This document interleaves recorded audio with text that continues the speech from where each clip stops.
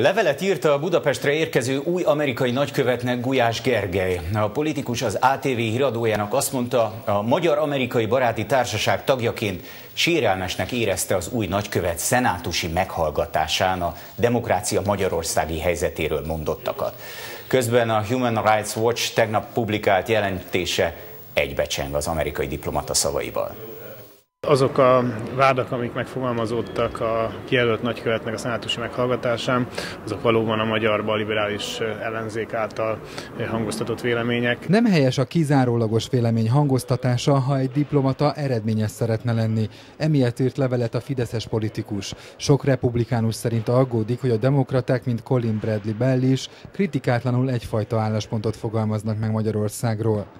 Január 16-án a szenátusban a leendő nagykövet azt mondta, sokan azt állítják, hogy a mélyreható törvényhozási és alkotmányos változások ártottak a nemzetközi beruházási klímának, aláástak a tulajdonjogokat, gyengítették a bíróságokat és a végrehajtó hatalom kezében központosították a hatalmat. Colin Bradley Belt aggasztja a szélsőséges pártok megerősödése Magyarországon, a tolerancia védelme és előmozdítása lesz a fő törekvése, és küzdeni fog a gyűlölet és az előítélet ellen ígérte. Félretájékoztatáson alapul, a külügyminiszter a hollywoodi producerből lett nagykövethez egy kérést intézett. Ne előre mások által megírt forgatókönyvből dolgozzon szakmai háttere miatt is tökéletesen tudja azt, hogy a forgatókönyveket lehet módosítani.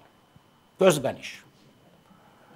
Akár forgatás közben is. A Berlinben közétett Human Rights Watch éves jelentés keményebben fogalmaz Colin Bellnél. 2013-ban folytatódott a jogállamiság fenyegetése és az emberi jogok védelmének gyengülése. Az alaptörvény módosítása még inkább aláást az igazságszolgáltatás függetlenségét, megfosztotta jelentős jogköröktől az alkotmánybíróságot. A médiatanács továbbra sem független, változatlanul túlzott mértékűek az újságírókat fenyegető büntetések. A kormány a nemzetközi bírálatok hatására szeptemberben kozmetikai változtatásokat hajtott végre az alap alaptörvényen, amelyek nem vetettek véget a vallási csoportok diszkriminációjának, fogalmaz a jelentés, amely szerint a romák továbbra is megkülönböztetésnek és zaklatásnak vannak kitéve. Változatlanul gond az antiszemitizmus, véli az emberi jogi szervezet. Ezek is olyan aggályok, amik valós problémákról szólnak, de a kormánya szembeni vádként nem helyes megfogalmazni őket, mert ez a kormány szerintem minden elődjénél többet tett a szélsőségekkel szembeni magyarországi küzdelemben, olyan jogszabályokat,